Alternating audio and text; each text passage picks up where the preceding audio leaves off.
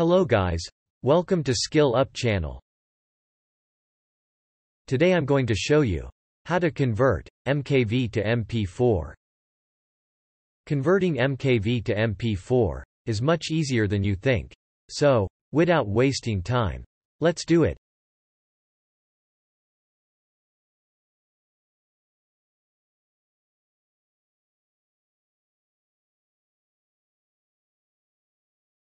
As you see it is MKV format.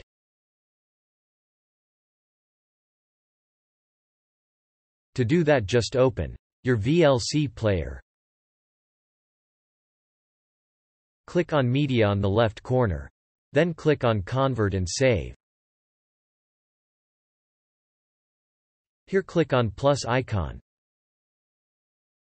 Select your MKV file. Then click on Open. Click on arrow on the bottom. Select the convert. Then click here. Scroll down. Click on Video for YouTube HD. It will be converted to MP4 by default. Click on Browse, and give it a name.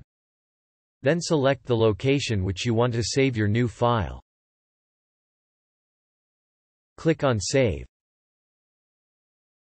Finally click on Start. Be patient.